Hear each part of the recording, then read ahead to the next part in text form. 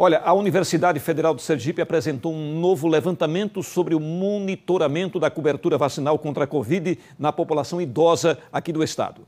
A pesquisa foi feita em três abordagens: idosos em geral, idosos na Grande Aracaju e idosos e pessoas portadoras de deficiência institucionalizadas no estado. O estudo aponta que, apesar dos idosos representarem 13% da população sergipana e 13% dos casos confirmados da Covid-19 no estado, é a população que está entre as principais vítimas da pandemia. Atualmente, inclusive com dados corroborados pelo Observatório de Sergipe, nós percebemos uma redução no número de mortes. Antes representavam 77% das mortes os idosos e agora representam 44% das mortes registradas, o que reforça que a vacinação e a imunização é o principal é, mecanismo de combate e manejo da pandemia para toda a população, mas principalmente para a população de idosos, que são o grupo mais suscetível a desenvolver a forma grave da doença. Na campanha de vacinação com relação à primeira dose, os municípios que menos vacinaram a população idosa foram Monte Alegre de Sergipe, 84,9%, Santana do São Francisco, 91,1%, São Francisco, 93,2%, São Domingos, 93,4% e Pinhão, 93,8%.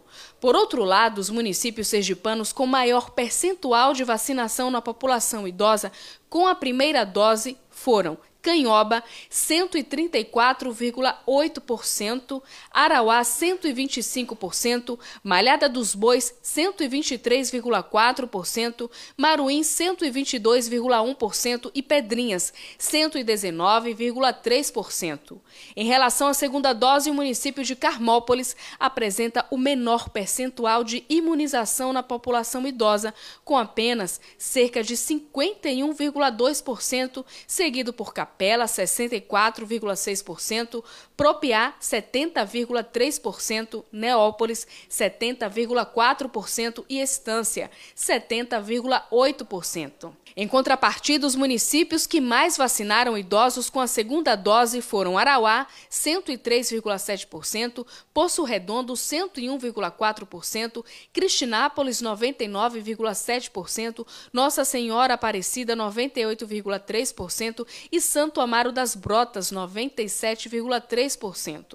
Na Grande Aracaju, os municípios que apresentam uma cobertura vacinal com a imunização completa, ou seja, as duas doses ou dose única na população idosa, são Barra dos Coqueiros, 91,5%, Nossa Senhora do Socorro, 82,2%, São Cristóvão, 76,9% e Aracaju, 71,5%. Quanto à segunda dose aplicada em idosos e pessoas portadoras de deficiência residentes em instituições de longa permanência, a cobertura vacinal é a seguinte: Aracaju com 339 idosos ou pessoas com deficiência vacinados, seguindo de 156 em Itabaiana, 49 em Ribeirópolis, 46 em Lagarto e 36 em Nossa Senhora do Socorro. A pesquisa reforça a importância da cobertura vacinal no combate à pandemia. Os números mostram a redução drástica da taxa de letalidade entre os idosos após a ampla vacinação desse público.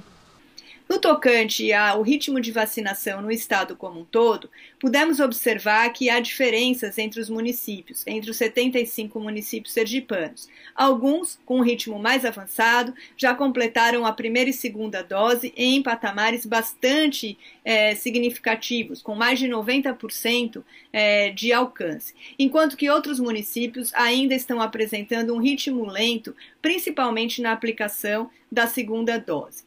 Para os grupos vulneráveis, de modo geral, o que nós temos observado é que a, a cada, a cada momento que a pandemia vai sendo é, controlada, há maior necessidade de combinar o critério etário com outros critérios de vacinação. É importante cada vez mais a comunicação a informação clara de que não basta tomar a primeira dose, é preciso completar o ciclo de vacinação com a segunda dose da vacina e assim conseguiremos alcançar patamares bastante desejáveis de controle da doença.